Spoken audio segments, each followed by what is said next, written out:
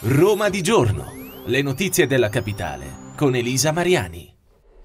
Buongiorno e ben trovati ad un nuovo appuntamento con Roma di giorno, lo spazio dedicato all'approfondimento giornalistico sulle principali notizie di attualità e cronaca della capitale. Per i 2500 lavoratori e lavoratrici di Roma Multiservizi torna l'incubo dell'instabilità. In sostanza Roma Multiservizi ad Ama costa troppo e dunque la Corte dei Conti ha bocciato Roberto Gualtieri. Una decisione che ha inevitabilmente scatenato scatenato anche reazioni politiche. Vogliamo leggervi cosa hanno scritto in una nota i gruppi consigliari capitolini del Movimento 5 Stelle e della lista civica Raggi. Sin dall'inizio l'ingresso di multiservizi in AMA voluto dalla maggioranza mostrava evidenti criticità Parliamo non solo della tardiva notificazione alla stessa AMA della volontà di compiere l'acquisizione, ma soprattutto del fatto che con la nuova operazione gli utili della società deriverebbero unicamente da Roma Capitale. Puntualmente la Corte dei Conti ha bocciato in toto l'iniziativa di Gualtieri. I problemi finanziari della partecipata, ha scritto la, co- la Corte, hanno un potenziale impatto di 13 milioni, a fronte di un patrimonio netto di 6 milioni, rilevando un rischio di liquidazione giudiziaria giudiziaria i giudici non usano mezzi termini nel definire questa acquisizione come incoerente rispetto ai principi di necessità e sostenibilità finanziaria. Ora però c'è un altro problema, forse anche decisamente più grave, quello del destino appunto dei 2500 lavoratori e lavoratrici di Roma Multiservizi. Cerchiamo di fare un punto soprattutto su questa questione che è particolarmente preoccupante per i sindacati che hanno chiesto un incontro urgente e definitivo proprio con Roberto Roberto Gualtieri. Quindi do il mio benvenuto all'ospite in collegamento video che mi aiuterà oggi a fare un punto della situazione, Stefano Diociaiuti, segretario generale FISASCAT CISL Roma Rieti. Buongiorno, ben trovato. Buongiorno a lei e ai suoi ascoltatori. Buongiorno. Grazie per la sua disponibilità. Dunque, possiamo cercare di fare un punto di questa situazione, un piccolo riassunto partendo dalle tappe decisive. Ma intanto, se mi permette, cercherei di fare un po' chiarezza. Certo. La Corte dei Conti ha espresso parere negativo, sottolineando che dall'analisi della documentazione resa disponibile dal Comune di Roma eh, vi, sono, vi sono delle anomalie nei rapporti commerciali con le parti correlate, quindi Roma Capitale e le società partecipate. Risulterebbe quindi penalizzata a livello finanziario da un, da un insieme di fattori che possono in generale squilibri di cassa derivanti dalle mancate incassi e in particolare quello che faceva riferimento al comunicato del Movimento 5 Stelle è il credito vantato nei confronti di ADAC in procedura concorsuale che si aggira circa di 13,6 milioni di euro. Ora, il problema è che probabilmente, tanto noi attendiamo un po' quello che sono le specifiche e le risposte del Comune di Roma alla Corte dei Conti rispetto alle criticità esposte ma l'impressione che abbiamo è che non vi sia stato ehm, o non vi sia stata fatta una fotografia eff- effettiva, completa e attenta di quello che è il mondo di Roma Multiservizi, perché ha una sua complessità e di prestazioni, ma anche di ritorni economici, ma anche di ritorni sociali rispetto alla vita quotidiana del Comune di Roma. In particolare mi riferisco al fatto che il global service, l'attività del, dei lavoratori, non è solo incentrata solo ed esclusivamente sulla parte delle pulizie delle scuole comunali, ma c'è, c'è tutta un'attività che è, ehm, come posso dire, circolare all'attività principale, che comunque fa reddito, che comunque deve essere presa in considerazione prendo per esempio certo. il, i pulmini del trasporto dei, dei, dei ragazzi insomma, da, da, da, casa a scuola. Quindi crediamo che nelle risposte che il comune possa dare alla Corte dei Conti ci sia una spiegazione un pochino più attenta e che comunque riesca a disinnescare, perdonate il termine, un po' di criticità che la Corte dei Conti insomma, sta esprimendo. L'altra cosa che mi preme dire è che non è chiuso, insomma, anzi tutt'altro che, eh, che chiuso. Insomma, siamo Infatti. convinti che si riesca insomma, a risolvere e a chiarire delle posizioni che rispetto alla documentazione avviata ci, sia, de, ci siano ulteriori integrazioni. Certo. Qual è il rischio maggiore per questi 2500 lavoratori e lavoratrici? Eh, bella domanda. La, il rischio è che si torni indietro e si riapra alla possibilità della mm, gara doppio oggetto e quindi del consorzio CNS che ha fatto anche ricorso, su questo bisogna dirlo, e quindi che ci sia un rischio di una frammentazione anche del, dell'appalto in termini di operatività ma anche di economia rispetto a, a quelle che sono, è una, è una prestazione unica, quindi dividere l'appalto o comunque l'attività per eh, municipio o per lotti credo che sia devastante da un punto di vista organizzativo ma io credo anche economico.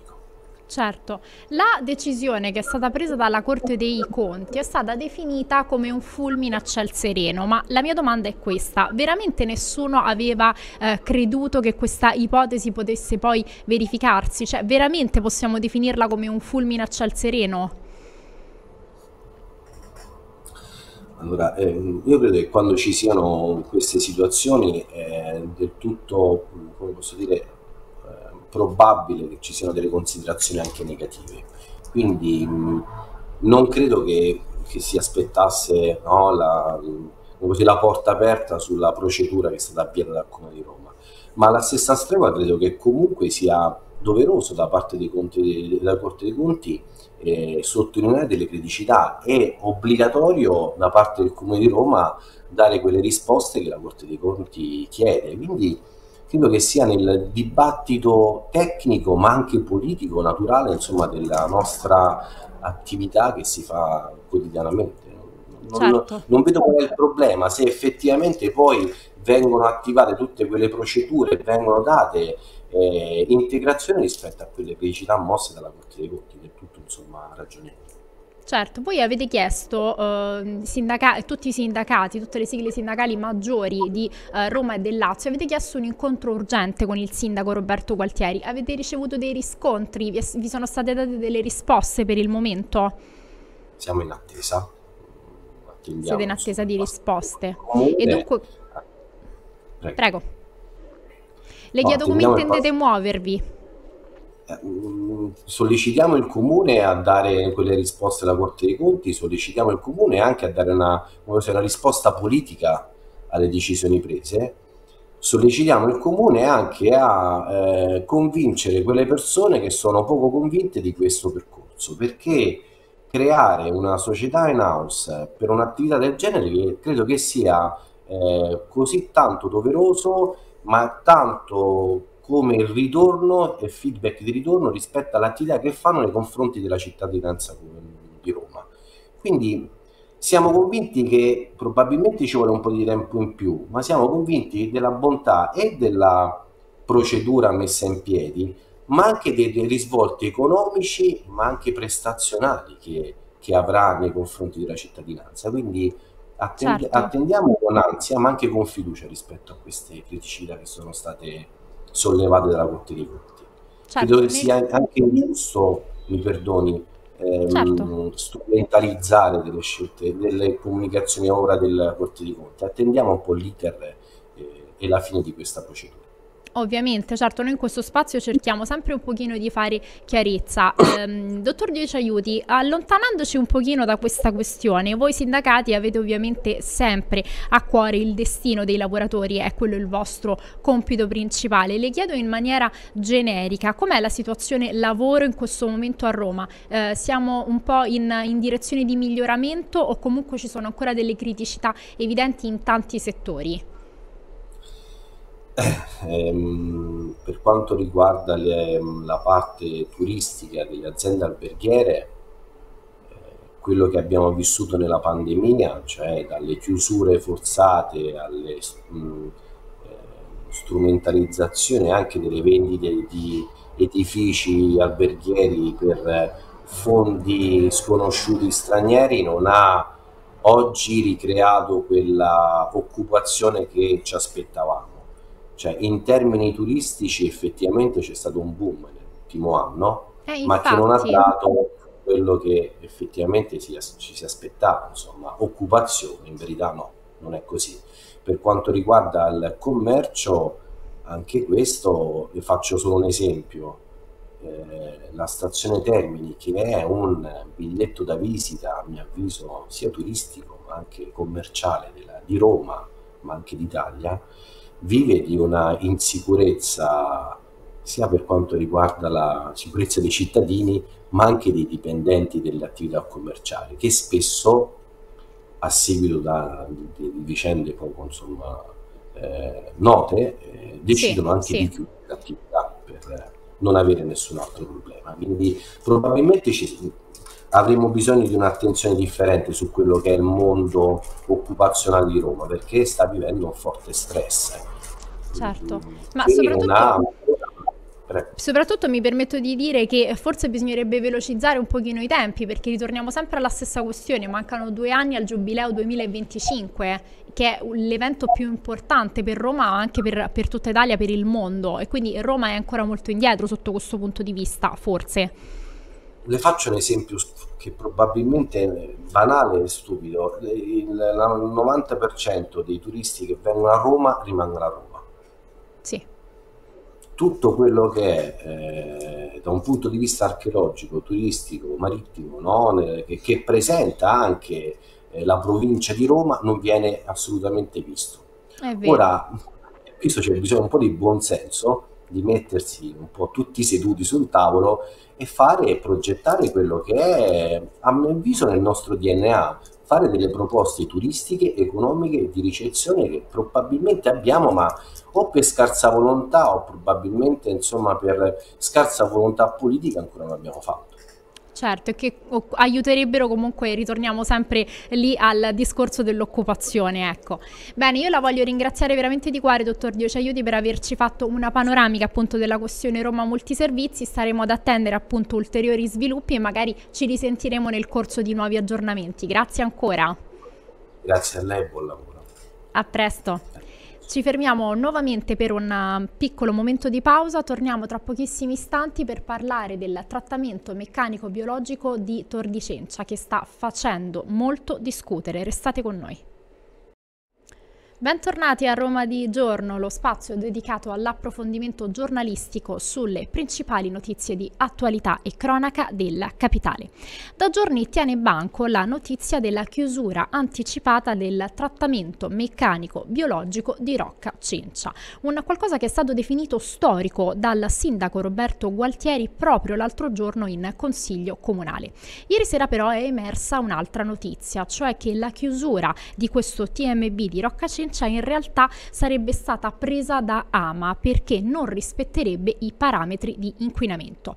La notizia è emersa in particolar modo nel corso di Extra, il programma che va tutte le sere in onda alle 21 proprio qui su uh, Radio Roma Television con il nostro direttore Claudio Michalizio. E proprio lui oggi ci aiuterà a capire meglio la situazione, a fare un punto della situazione. Quindi do il mio benvenuto in collegamento video al nostro direttore Claudio Michalizio. Buongiorno direttore direttore, è un piacere per me averla qui. Buongiorno Elisa, un saluto a tutti i tuoi ascoltatori, bentrovati. Grazie per la tua disponibilità. Dunque, la prima domanda che ti faccio, Claudio, è: dunque Gualtieri è stato costretto a chiudere il TMB di Rocca Cencia? Eh, a quanto pare sì, è quello che è emerso durante la trasmissione di Extra quando abbiamo avuto ospite proprio per commentare questa data storica, il 3 aprile 2023 alle ore 18 si sono spente le attività del TMB di Rocca Cencia, noi avevamo ospite eh, Nicola Franco che è il presidente del sesto municipio che è là dove sorge proprio questo impianto che da anni, voi sapete, è al centro delle proteste da parte dei cittadini per gli odori che si sentono, per l'impatto che ha sul traffico il sì. fatto che lì arrivino tutti i camion di Ama.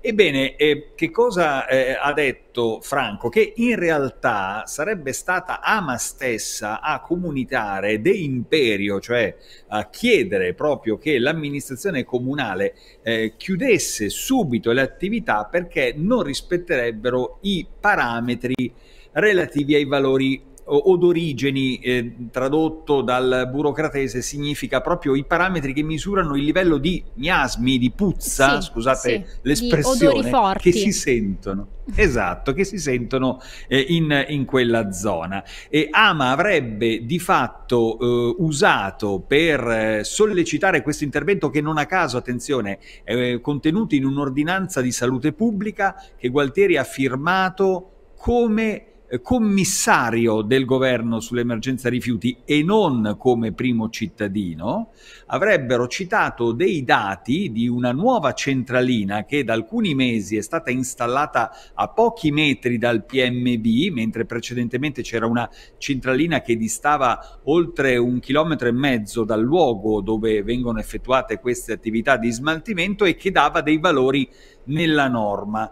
Secondo Nicola Franco, che è stato colui che ha sollecitato l'installazione di una nuova centralina che è controllata da ARPA, quindi i dati sono ufficiali, sono le, i dati dell'Agenzia regionale per la protezione certo. ambientale, quell'impianto non, risp- non, rispetterebbe i parametri. E adesso vi facciamo sentire proprio un passaggio delle parole di Franco perché stiamo parlando di un impatto molto forte sull'ambiente, oltre che naturalmente sulla possibilità di convivere con questa struttura a pochi metri dalle case. Sentite Franco.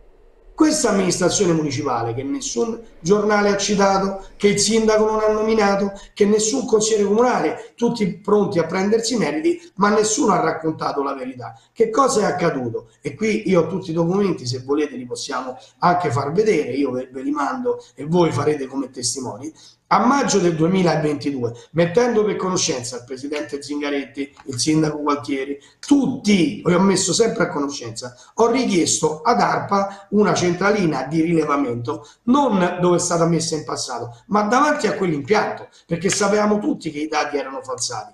È iniziato un braccio, un braccio di ferro con ARPA, dove io ho detto ad ARPA fatemi vedere dove è scritto nella normativa che deve essere eh, rifornita con l'energia solo su un bene pubblico a quel punto sono stato accontentato e grazie alla collaborazione con i comitati di quartieri e associazioni l'abbiamo messa su via di Rocca Cencia a 10 metri dall'ingresso di quell'impianto.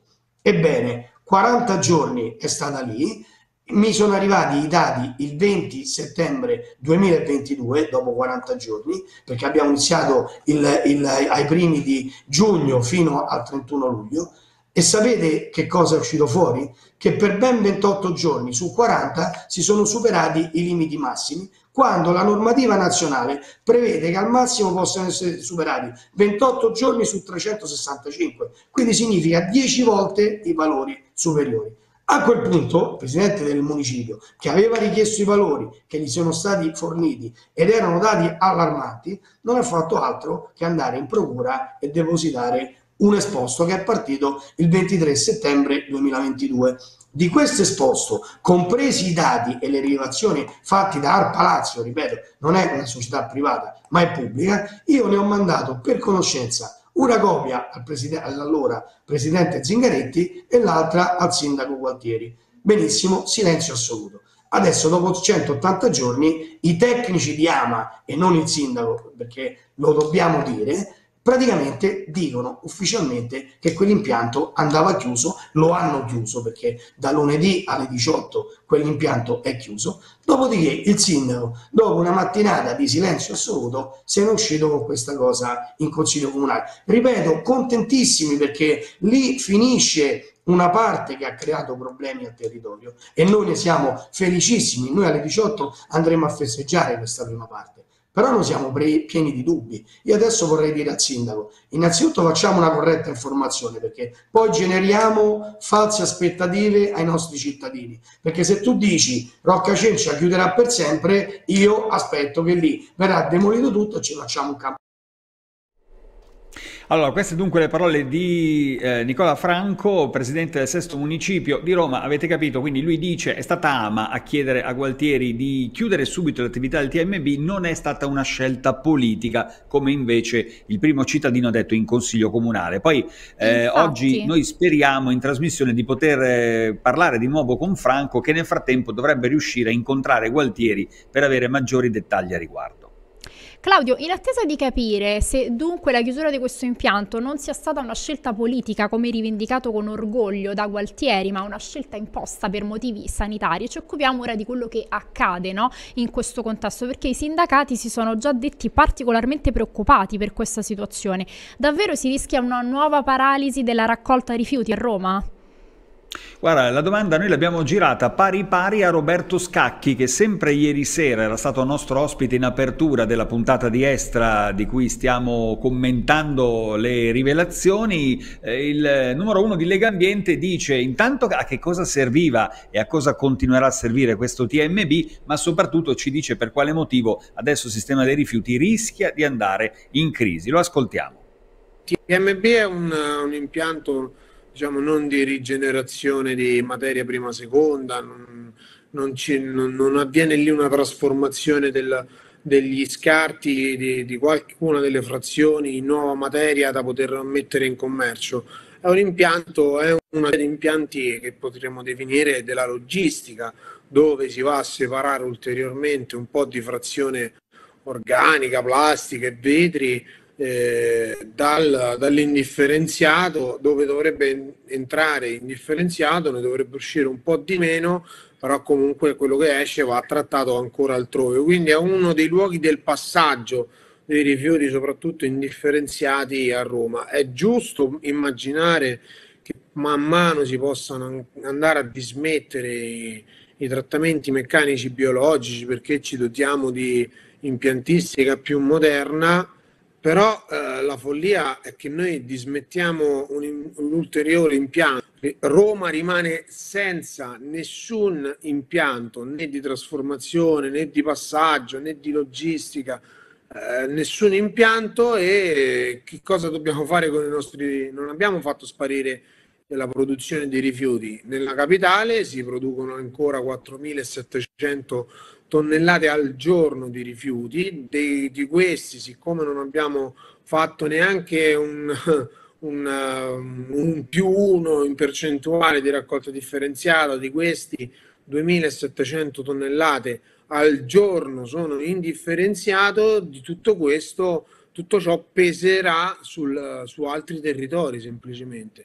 Basta andare un po' più a est in un territorio che è quello del comune di Guidonia, dove si paventa evidentemente il passaggio di gran parte dell'indifferenziato di Roma all'interno di un TMB che sta dentro un'area parco, che sta all'interno di un'area dove c'è una discarica chiusa e da tombare, dove la collettività chiaramente dovrà sopportare tutto questo. Di certo l'immagine che, che, si dà delle scelte che si fanno a Roma è veramente incredibile, cioè si sceglie di allontanare ogni impiantistica dalla città deresponsabilizzando qualsiasi territorio e andando e continuando ad andare a pesare su altri territori.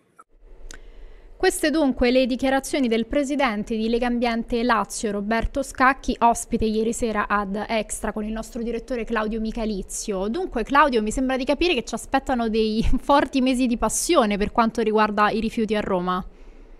Eh sì, perché naturalmente noi cediamo la possibilità all'amministrazione comunale di intervenire e smentire anche quanto è stato dichiarato dai nostri ospiti in trasmissione. È evidente che se fosse vero che è stato Ama a chiedere d'urgenza la chiusura del TMB, si spiegherebbe per quale motivo l'amministrazione comunale abbia deciso di privarsi dell'unico impianto operativo sul territorio eh, urbano prima di aver attuato il nuovo inceneritore e prima di aver dato struttura a un piano rifiuti che è soltanto sulla carta. E sentivate quello che dice, diceva il presidente di eh, Legambiente o si smette di produrre i rifiuti o si potenzia la raccolta differenziata ma nel frattempo i rifiuti che oggi venivano conferiti nel TMB di Rocca Cencia e che in parte non arriveranno più eh, dovranno andare da qualche altra parte e, e certo. lì finirà che a pagare saranno i territori limitrofi che noi sappiamo non sono contenti di continuare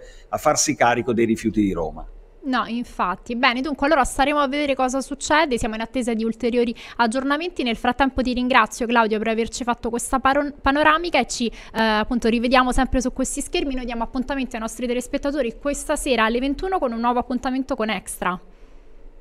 Alle ore 21. Non so ancora di cosa parleremo perché come tu sai Elisa i nostri programmi nascono sull'impronta dell'attualità. Certo. Speriamo di trovare argomenti interessanti, ovviamente terremo sempre d'occhio la vicenda del TMB di Rocca Cencia. Buon proseguimento a tutti dubbi. e buon lavoro a te. Grazie Claudio, a presto. Ci fermiamo nuovamente per un minuto di pausa, restate con noi perché tra pochissimo il consueto appuntamento del giovedì, l'approfondimento sulle notizie del territorio. A tra poco.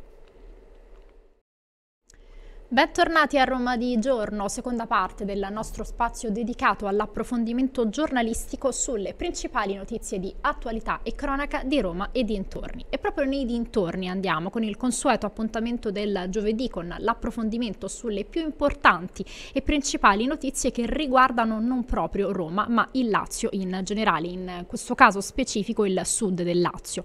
Do il mio eh, benvenuto come tutti i giovedì all'esperto che mi aiuterà ad approfondire approfondire appunto queste notizie Giuseppe Mallozzi, direttore di Tempo Reale Info. Buongiorno Giuseppe, ben trovato. Buongiorno Elisa. Allora, come ogni giovedì partiamo sempre dalle notizie più importanti, dunque dalla cronaca, perché so che si sono concluse le indagini preliminari della Procura di Latina nei confronti della cooperativa Caribù e Consorzio AID ed è partito il contrattacco da parte degli avvocati della difesa.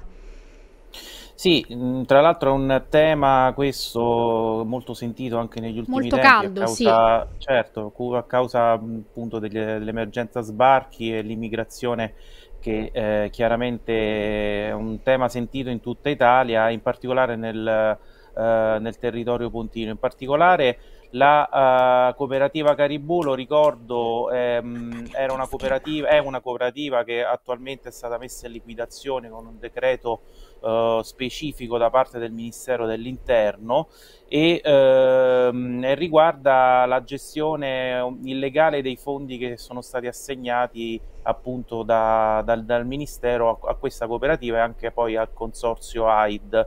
Eh, in particolare la cooperativa Caribù eh, si sono registrati dei, dei, comportamenti che riguardavano da una parte eh, la gestione del, degli immigrati che erano stati lasciati senza cibo, senza acqua e dall'altra sono stati realizzati dei debiti eh, per circa 6 milioni. Uh, quindi mh, 6 milioni di evasione fiscale, per cui uh, è stata aperta l'inchiesta. Uh, recentemente sono, si sono concluse le, le, indagini preliminari che porteranno probabilmente a, a rinvio a giudizio di tutte le persone indagate. per quanto riguarda appunto le persone indagate, una di, mh, di, di queste è Liliana Mura, Murecate, l'avvocato ha annunciato insomma, che mh, contesta appunto le eh, I vari danni erariali in caso di questa assistita sono di 13.000 euro, eh, appunto vengono mh, comunque rigettate al mittente tali accuse, quindi vedremo al momento eh, che cosa succederà in sede di richiesta di rinvio a giudizio.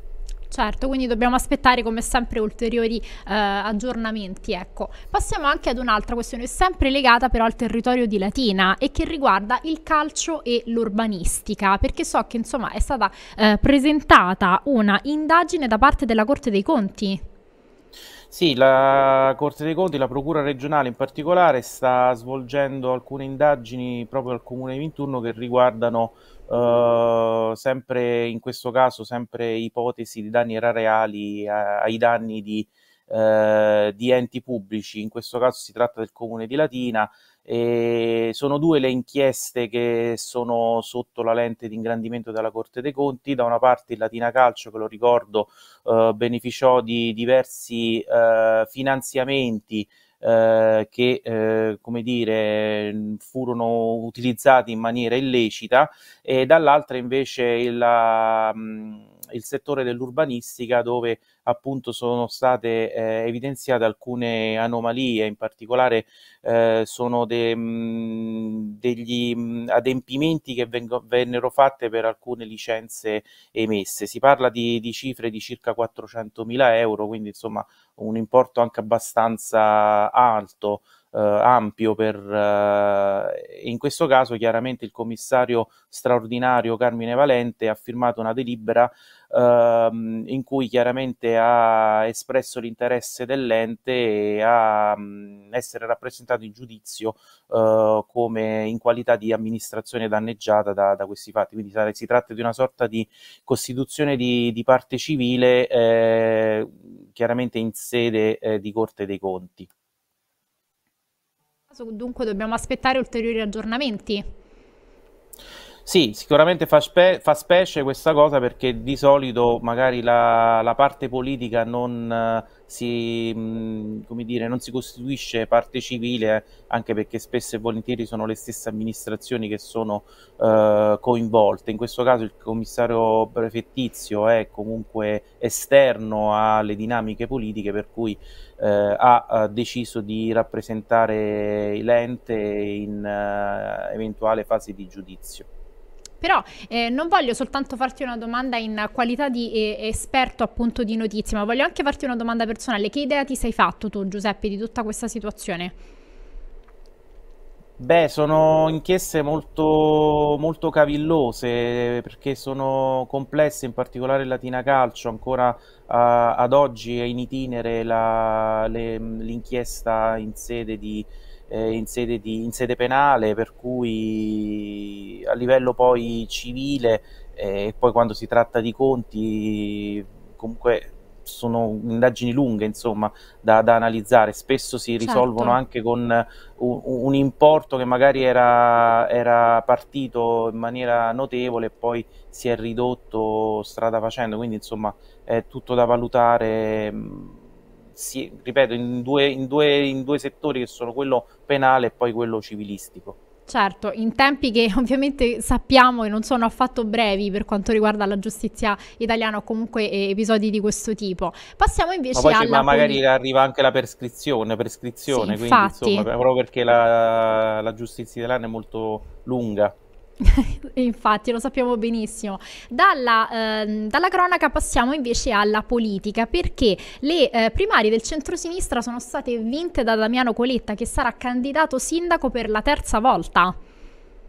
Sì, quasi a sorpresa possiamo dire perché la... si dava per favorita Daniela Fiore che era la candidata presentata appunto dal Partito Democratico, ricordo Daniela Fiore comunque una mh, eh, consigliera comunale uscente, insomma anche eh, con... Eh, con, con, un bel po' di voti, un bel pacchetto di voti, per cui è stata un po' a sorpresa questa eh, vittoria di Damiano Coletta che comunque premia evidentemente eh, la sua linea politica che eh, lo ha già visto due volte sindaco, due volte diciamo una volta e mezza sindaco, visto sì. che comunque la, il suo secondo mandato è finito eh, abbastanza presto Uh, lo ricordo per, per, questioni che riguardavano appunto la tenuta della maggioranza, uh, si era verificata la, la, cosiddetta anatra zoppa perché non aveva la, la maggioranza dei consiglieri, per cui poi uh, l'anno scorso i consiglieri di minoranza, in realtà di maggioranza, eh, del centrodestra lo hanno sfiduciato. Uh, quindi sarà lui a rappresentare il, lo schieramento mh, del centrosinistra che eh, avrà uh, oltre Latina Bene Comune che è la lista di riferimento proprio del, uh, del dottor Coletta il Partito Democratico e, mh, e, si aggiunge anche il Movimento 5 Stelle che ha aderito appunto al a tale eh, coalizione. Chiaramente ci saranno anche altre liste civiche che si formeranno strada facendo. Uh, certo. Non ci certo. sarà, almeno per il momento, non sarà della partita, almeno per il momento, il terzo polo, uh, che eh, dovrebbe puntare su un proprio candidato a sindaco, uh, Claudio Gavillucci, a meno che non ci saranno delle decisioni dell'ultimo minuto.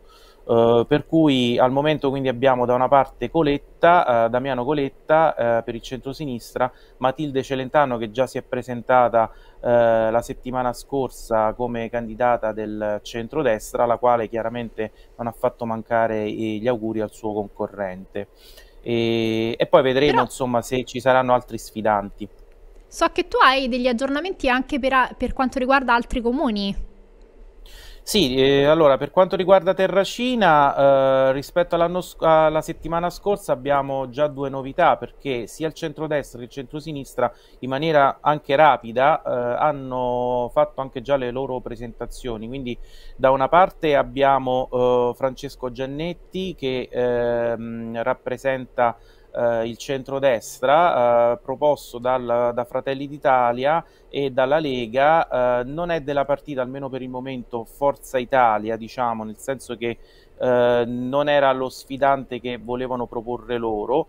Uh, e dall'altra, l'altro Giannetti, lo ricordo, è stato anche eh, nella, in un'amministrazione in precedenza mh, ha rappresentato appunto la, l'assessorato alla, all'urbanistica, lui è un architetto, eh, mentre nel centro-sinistra invece il Partito Democratico e il Movimento 5 Stelle eh, propongono invece eh, Francesco Di Sauro che è membro del direttivo della Fondazione Città di Terracina. Uh, per quanto riguarda invece altri comuni, uh, si è sciolta anche uh, la situazione su Rocca Gorgale dove le, erano state proposte le primarie eh, che poi non si sono più svolte, ehm, in quanto la, la, l'ex sindaco Carla Amici si è ritirata, diciamo che anche eh, pubblicato una nota abbastanza dura con il partito eh, dicendo che non c'erano le condizioni politiche eh, nel Partito Democratico per eh, la sua eh, candidatura, ma soprattutto per le primarie, per cui è rimasto l'altro sfidante Francesco Scacchetti, che è ex segretario comunale di Roccagorga, e quindi sarà lui a rappresentare eh, il centro-sinistra alle prossime elezioni.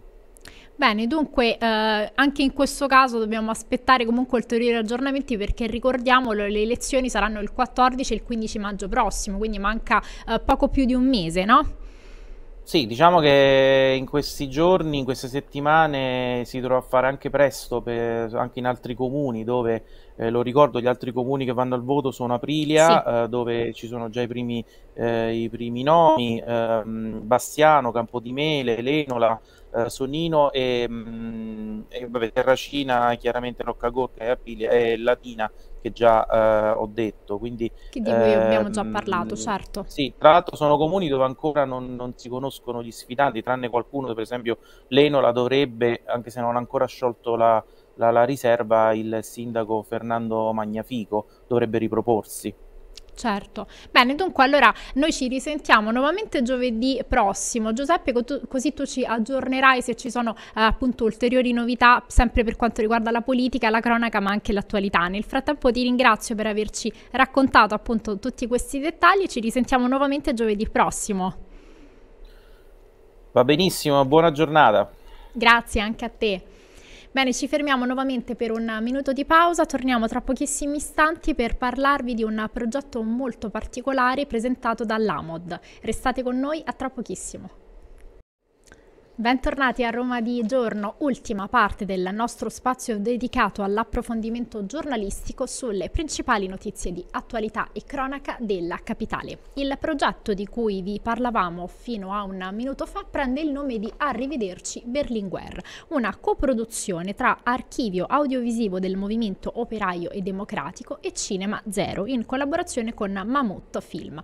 Si tratta di un progetto che vedrà la sua prima uscita precisamente a Pordenone Frosinone per poi arrivare a Roma precisamente il 6 maggio. Un'iniziativa interamente dedicata al riuso creativo delle immagini d'archivio, è stato scritto, ideata e prodotta dall'AMOD in collaborazione con Archivio Luce e con il sostegno di MIC, Direzione Generale Cinema audiovisivo e di altre istituzioni pubbliche e private. Facciamoci raccontare tutti i dettagli di questo progetto davvero incredibile su un personaggio storico appunto della nostra Italia, quindi do il mio benvenuto a uno dei registi di Arrivederci Berlinguer, Michele Mellara. Buongiorno, ben trovato. Buongiorno, buongiorno a tutti. Sì, Grazie per la sua la... disponibilità. Non c'è problema, mi fa molto piacere. Eh, come ricordavi, eh, la regia l'ho curata insieme ad Alessandro Rossi, che è la persona con la quale collaboro da oltre vent'anni, scrivendo e dirigendo principalmente cinema documentario. E il film in realtà, Rivederci Berlinguer, ha avuto la sua prima domenica al Pordenone Doc Festival, dove effettivamente è andato molto molto bene, la sala era aggredita, ah, soldata. Ha, fa- ha, fatto bene sì. a correggermi allora. No.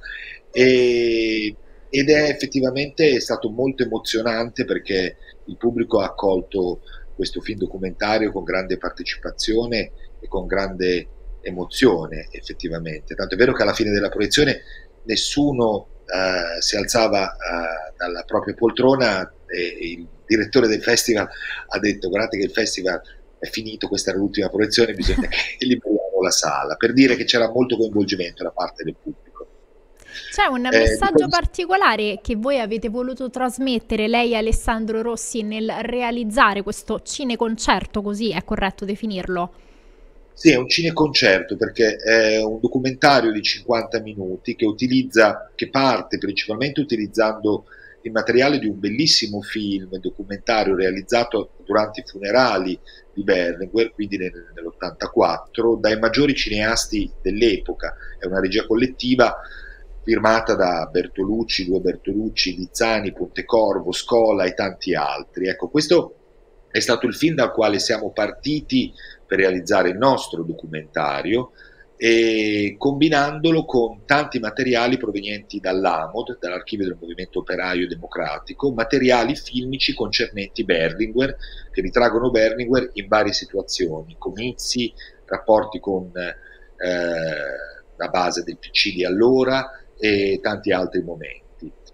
Dicevo un cineconcerto perché? Perché eh, abbiamo collaborato con Massimo Zamboni, Massimo Zamboni stato tra i fondatori dei CCCP, eh, da vari anni si muove anche in solitaria come solista e ha composto ed eseguito le musiche dal vivo e sarà lo stesso poi il 6 di maggio anche a Roma. Quindi, dire, è un, è un film, un cineconcerto che emoziona molto anche attraverso la partitura musicale di Massimo.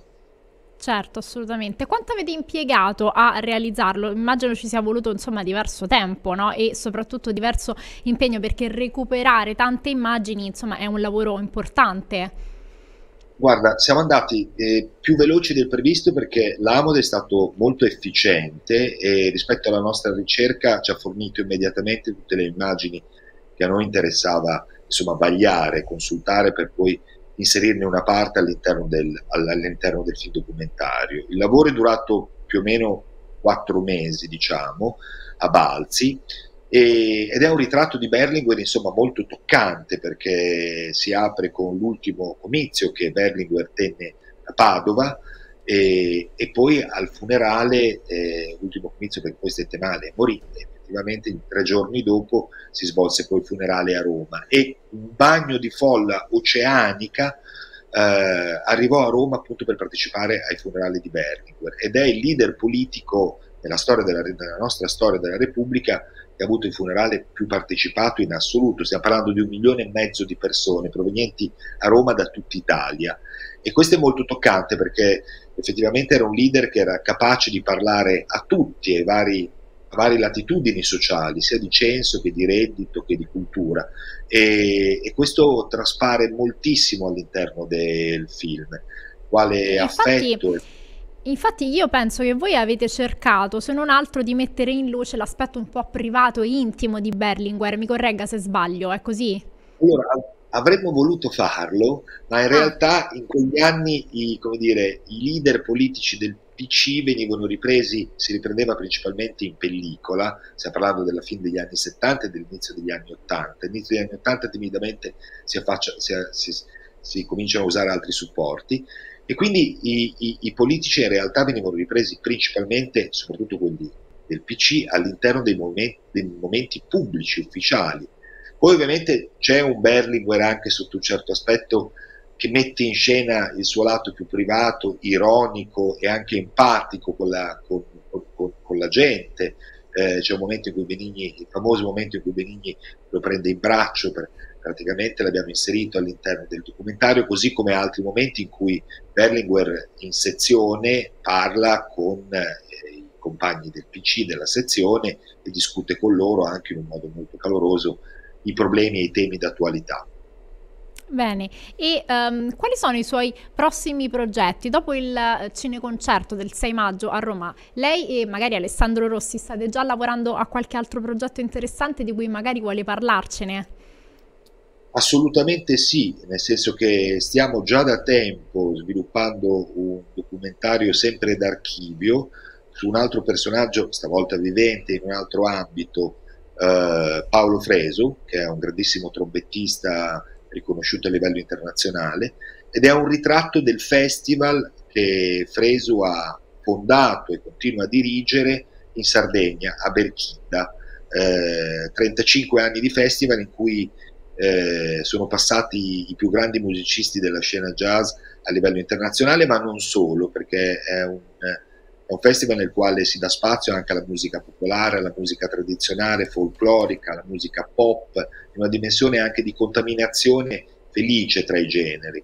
E quindi stiamo lavorando a questo film che ha invece una mole d'archivio straordinaria, cioè immensa, perché è stato ripreso eh, per tanti anni da un altro regista col quale confermiamo la regia, Gianfranco Cabindu, e quindi siamo su questo progetto che speriamo eh, veda la luce tra l'autunno e l'inverno di quest'anno. Certo, e vogliamo dare giusto qualche riferimento ai nostri telespettatori che magari volessero assistere a questo cineconcerto a Roma, visto che questo programma si chiama Roma di giorno, quindi noi cerchiamo sempre di dare tutti gli appuntamenti più importanti per quanto riguarda la cultura. Tutte le informazioni si potranno trovare sul sito dell'AMOD, AMOD A-A-M-O-D, Archivio del Movimento Operaio Democratico. Sarà una pagina del sito web dedicata appunto al festival, perché questo, questa proiezione avverrà all'interno della prima edizione del festival curato dall'AMOD e lì si potranno insomma, trovare tutte le informazioni rispetto alla serata del 6 maggio. Bene, assolutamente. Ricordiamo eh, Arrivederci Berlinguer, il cineconcerto che è stato coprodotto da eh, Archivio Audiovisivo del Movimento Operaio Democratico e Cinema Zero in collaborazione con Mammut Film e che vede la regia appunto di Michele Mellara e Alessandro Rossi. Voglio ringraziarla, dottor Mellara, per questo suo intervento di oggi. Invitiamo tutti i nostri telespettatori a partecipare appunto il 6 maggio alla proiezione del cineconcerto su Berlinguer. Grazie davvero. Grazie a voi, grazie a voi. A presto. Bene, anche per oggi il nostro tempo a disposizione termina, noi però torniamo nuovamente domani con un nuovo appuntamento di Roma di giorno, nuovi spunti, nuove notizie e soprattutto nuovi modi per riflettere sempre sulle notizie che vi proponiamo. Vi ringraziamo per averci seguito, vi ricordiamo che andiamo anche in replica alle 18 sempre su questo canale, il canale 14 e che potete trovare tutte le repliche di eh, questo spazio sul sito di radioroma.it. Grazie per averci seguito, a domani. Roma di giorno. Le notizie della capitale con Elisa Mariani.